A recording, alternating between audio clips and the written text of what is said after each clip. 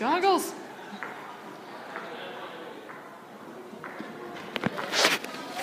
Yeah, make sure you have goggles. We're sorry. Make sure you get goggles. There's Brooke. I don't know what she's up to. That's the ratio of the last one. The worst case is it'll go too soon and you'll get hurt. And you'll get hurt. Are you just gonna drop it and that works? Is it a goggle? No, push it to the bottom. Like what about the funnel? I thought we were using, you didn't like the paper thing.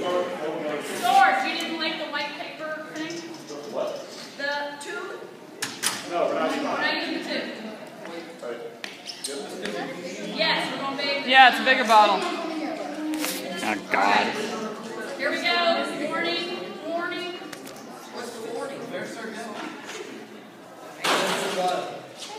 Hot water. Nine. I'm gonna drop my phone